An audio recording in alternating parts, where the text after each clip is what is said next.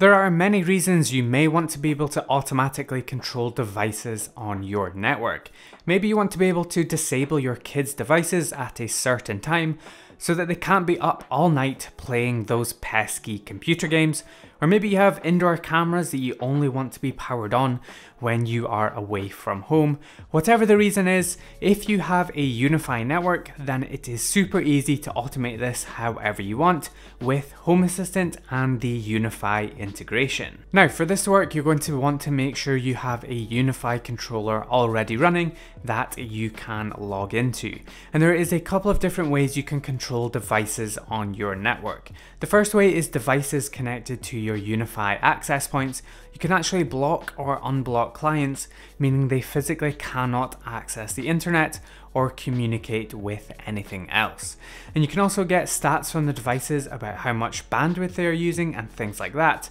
And the second way is if you have a UniFi switch, then you can physically control the ports on that switch to turn them on or off.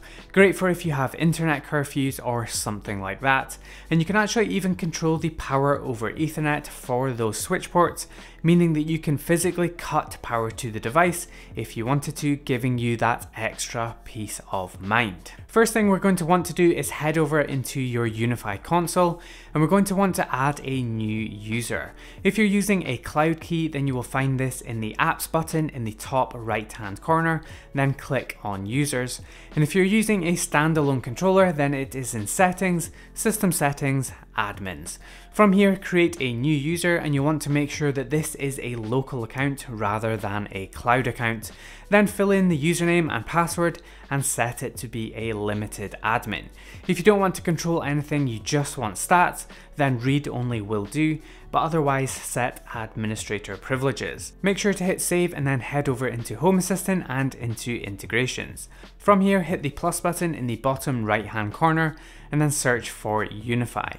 In the host box, enter the host name or IP address of your controller, try to use host names where possible, and then enter the username and password for the Home Assistant account that we just created. For the port, you will want to enter port 443 for cloud key, or for standalone, you will want to enter 8443. Hit submit and then you can select the site you want to add, either the default site or another if you have it configured. Hit next and then you should see all of your devices pull through and then hit finish. What we have done now is add all of our devices as device trackers so that we may use them for presence detection to see who's home and who is away. But we're going to take this a little bit further by now adding devices that we want to be able to control either the Wi-Fi access or the port status from.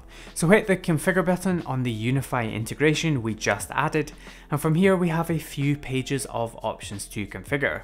On the first page, you will want to check or uncheck these options as you see fit. Having all of these options ticked can add quite a lot of new entities to your Home Assistant depending on how large your network is, but it is useful for tracking devices for presence detection. It's not an issue having lots of new entities added, but it may clutter up your device list if you prefer to keep things clean. On the next page, we have the options we are looking for, which is for access control. From here, select all of the devices from the dropdown that you want to be able to control network access to.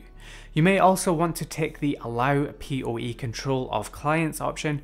This is really useful, for example, if you have an indoor camera that you want to physically cut the power to if you are at home, so that you know for sure that it's not only is it not connected to the internet, but in fact it's not even powered on.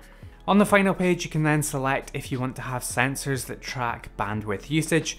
This could be useful, say for example, if you wanted to disable a device after a certain amount of data had been transmitted. Hit submit and then if we go into devices and then pick one of the clients from the list that we selected from the dropdown, then you can see that we now have a switch on it. In this example, this is a Wi-Fi device, and so we get a little toggle switch with the network symbol. Toggling this switch will cause the client to be immediately permitted or denied network access. If we then switch over to a wired PoE client, like my back garden camera, you will see that the switch looks a little different, and that's because this is controlling the power over ethernet port on our switch. Network switch that is, not Home Assistant switch you get the idea. We can then look into the attributes of the switch and see information about our PoE values. And if we toggle it, this will cause the power over ethernet for that particular port on our UniFi switch to be disabled, meaning the camera is no longer receiving power and obviously cannot communicate. Let's put this into practice by creating a simple automation. Head over to configuration and automations and create a new automation and for example, if you wanted to create an automation that turns off network access for a device at 10 p.m., and turns it back on again at 9am, you could do something like this. Create two triggers, one for time at 9am and one for time at 10pm, making sure to set trigger IDs. In the action section, we are then going to select the choose action and then for option one, inside of the condition, select trigger from the dropdown and then select morning curfew as the trigger ID. For the action, you will want to select call service, then choose switch turn on from the next dropdown. As a target, we then select the device that we want to control.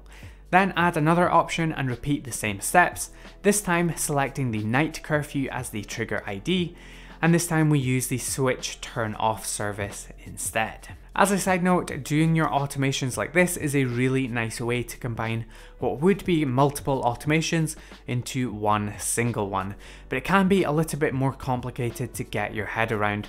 So if you want to keep things simple, then there is absolutely no problem with creating these as two separate automations. Hit save and now whenever 10pm rolls around, network access will be disabled on the device and automatically re-enabled at 9am. And there we go, that is how to add the UniFi integration to Home Assistant for device tracking, but also how to add devices that you can control network access with, and even controlling PoE ports on switches and finally, how to create a simple automation to automatically make that happen. And like I said, there is tons of uses for this that I can think of. We covered a few of them here, but actually let me know in the comments what you plan on using this for or are currently using this for. I bet there are tons more that I haven't even thought of yet. But that is about going to do it for this video. Hopefully you guys enjoyed it, find it useful. Good to be back doing a Home Assistant tutorial. Feels like it's been a minute since we did a Home Assistant tutorial. But other than that, if you want to support the channel, then you can do so by becoming a patron on Patreon and your support allows me to keep on making these videos. Thank you to all my current Patreon supporters. As always, your support is very much appreciated. Make sure to drop this video a like and get subscribed, and I will see you in the next video.